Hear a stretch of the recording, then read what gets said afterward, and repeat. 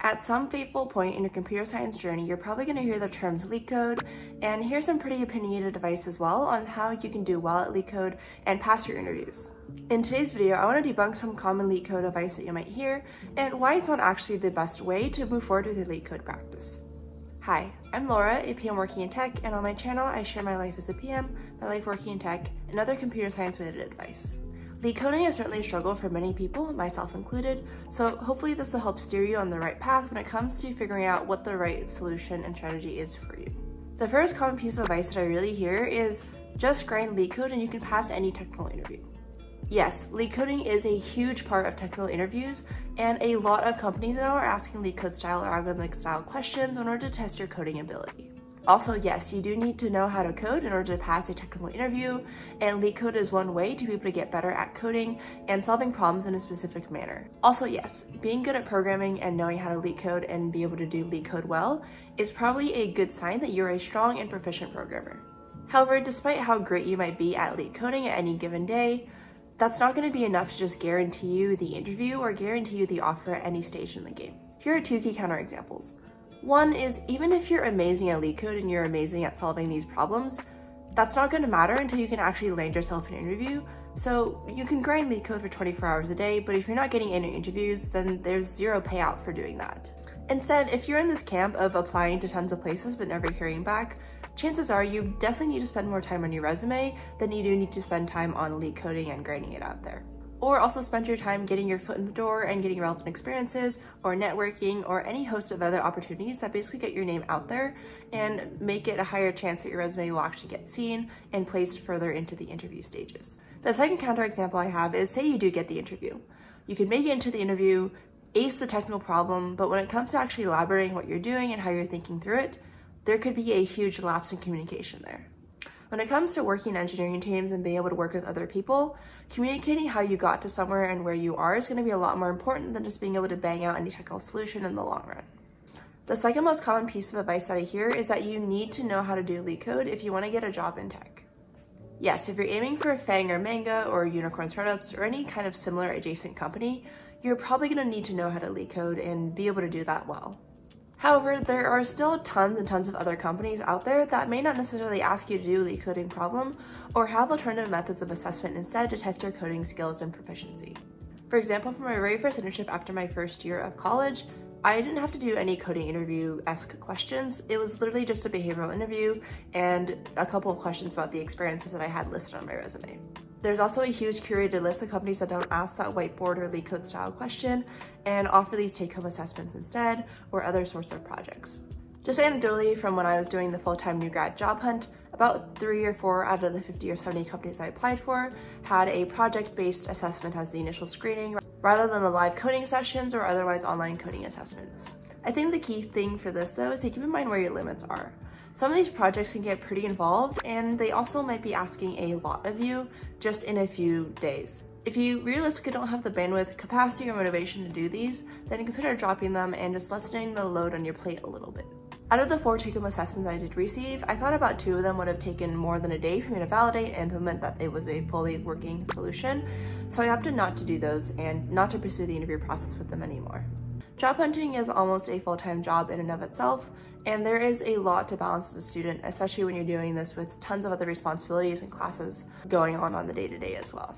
But circling back to the original point, beyond those kinds of top tier name brand companies, there are a lot of companies out there that don't actually really ask you to do LeetCoding questions or kinds of technical assessments in that nature.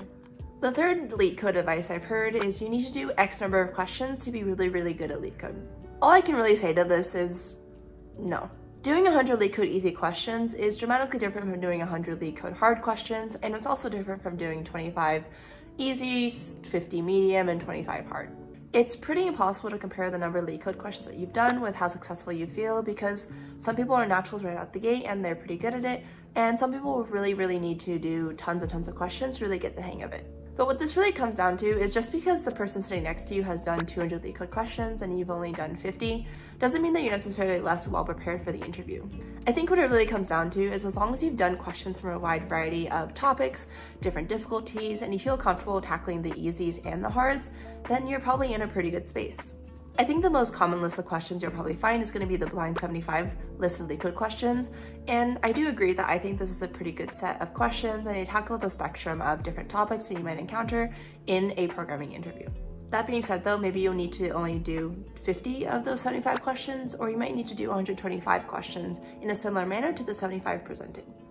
It all really just depends on how quick you learn and how easy these things are for you to pick up. There's really no right or wrong answer on the number of LeetCode questions you need to do, and whether you've done 10 LeetCode questions or 500 questions, there's no need to brag about it.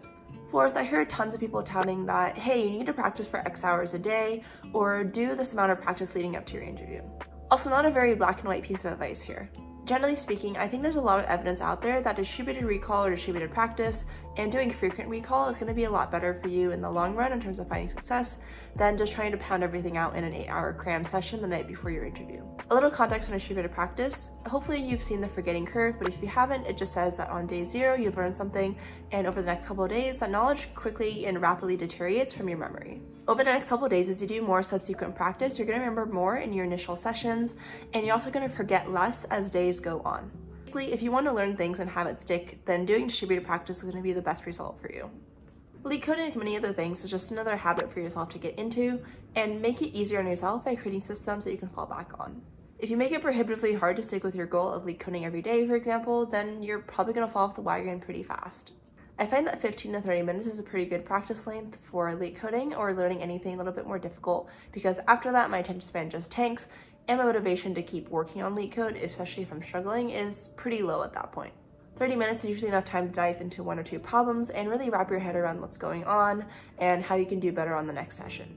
Of course, 30 minutes a day probably isn't going to be the greatest for you if you have an interview coming up in a day, for example, so maybe it's appropriate to ramp up the time that you spend LeetCoding the night before or a couple weeks before you have your first interviews. In any case, make sure that you're actually incorporating breaks into your study routine so that your brain has a little bit of downtime to process and absorb the information that you've already learned. Lastly, the thing that I want to end on is the advice that LeetCode is just really easy to pick up. First response is, eh, yes and no. I think firstly, the concept of LeetCoding is pretty easy to pick up. At its core, LeetCoding is just using a data structure or algorithm to solve a technical problem, with usually some sort of special technique in there that makes it easier to solve the given problem. A lot of beginners may struggle to LeetCode a little bit, but once you find and hit your stride with maybe solving an easy question or two, you start to get a little bit more into groove of LeetCoding and understanding how it works. Cool. Yes, in that sense, LeetCoding is easy to pick up because it's the same kind of problem that you're going to be tested with. I think the second layer that kicks in here that makes it a little bit more difficult is actually just having the knowledge to know when to use what and how to use it. And that's just the kind of thing that comes with practice, which is gonna be hard to do if you feel frustrated, unmotivated, or just hitting a dead wall with LeetCoding in the first place. With all these different layers, techniques, and ways to solve and approach a problem, that really only kicks in more at the medium to hard level, but is present in a few of the LeetCode easy questions. You probably will have, have to see a similar problem or know about the topic in order to solve every problem in the most efficient manner. I think the best example of what I mean by this is dynamic programming. There are a few LeetCode easy questions that rely on dynamic programming in order to reach the most efficient solution, and if you just have never heard of dynamic programming before, it's not going to be likely that you can just stumble upon the answer and land on the right thing. Maybe that's just me though, because I had an extraordinarily difficult time with dynamic programming problems. But I think the real advice that I want to give coming out of this is that don't be frustrated if you're hitting a block when it comes to solving those medium and hard problems in particular they really often do have some sort of special trick that if you haven't seen this kind of problem before, it's going to be a lot easier once you have in the future moving forward. Also, if you're struggling just to keep up with LeetCode, then go back to the basics. How can you incorporate just 5 to 10 minutes of looking at a problem and thinking through the solution without even necessarily needing to code it? Then move up to larger behaviors like actually writing up a solution and checking and running through test cases. And before you know it, it'll be easier for you to get in the habit of LeetCoding and build it up into a daily part of your routine. I hope that walking through these made a little bit more sense. Advice is often given in the hopes that it does someone else good, but it's also not going to be a one-stop solution for everyone.